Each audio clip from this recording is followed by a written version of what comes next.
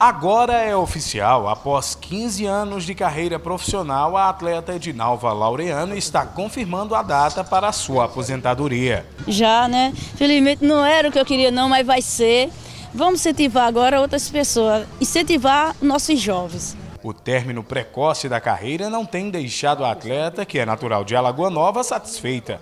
O motivo para o término da jornada profissional é mesmo a saúde. O ritmo forçado dos treinamentos acabou comprometendo os joelhos da corredora. Estou parando porque estou com lesão no joelho, desgaste no joelho foram durante os treinamentos, né? Foram muito aí competição, treinamento pesado.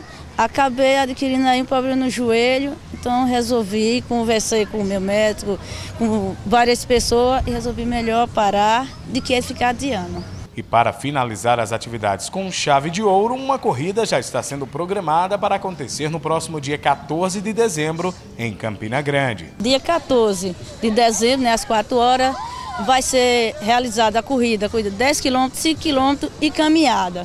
A minha despedida de corrida nacional e internacional, ficar só como amadora e começar um novo trabalho agora em 2014 com, a, com as crianças. Com 15 anos de carreira, Pretinha coleciona vitórias. Mas a maior delas, infelizmente, ela não vai mais conquistar. Encerrar a minha carreira na Olimpíada 2016.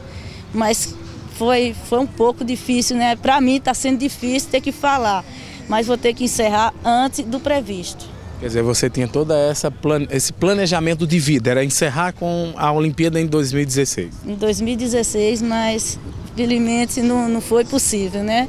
Mas vamos estar tá aí torcendo para nosso brasileiro.